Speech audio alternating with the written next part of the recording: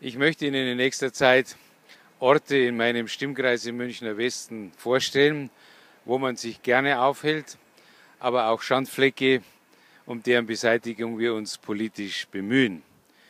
Es gibt in unserer Stadt seit Jahren eine positive Tendenz, dass man sich wieder bemüht, Traditionen zu beleben, wieder mehr für Identität in den Stadtbezirken zu sorgen, mehr Kommunikation zu ermöglichen und vieles mehr.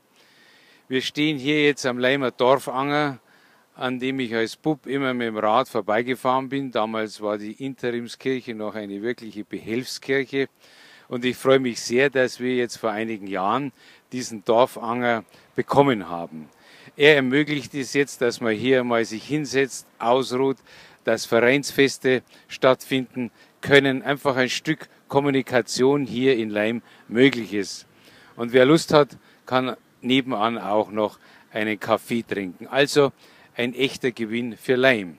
Und es ist hier auch wieder ein Maibaum aufgestellt worden, der allerdings eine schwierige Geschichte hat.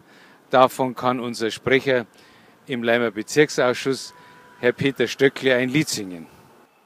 Ja, es hat eigentlich viele Jahre gedauert, bis wir einen Maibaum in Leim errichten konnten. Ein Maibaumverein hat sich schon vor Jahren gegründet.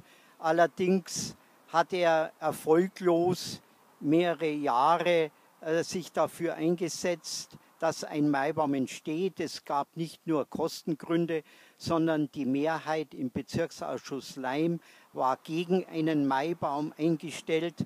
Die Gründe, weshalb man diese Haltung eingenommen hat, waren für mich nie so recht nachvollziehbar.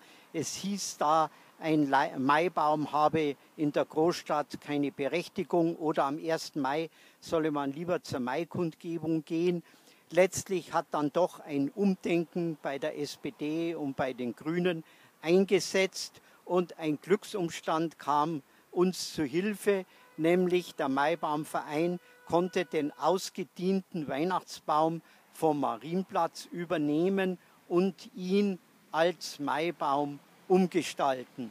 Und so konnte in diesem Jahr ein Maibaum hier am Leimer Anger aufgestellt werden. Wie ich meine, eine echte Bereicherung. Das Fest war ein voller Erfolg. Es äh, gab eine Zahl von Teilnehmern, die wir uns nie hätten träumen lassen.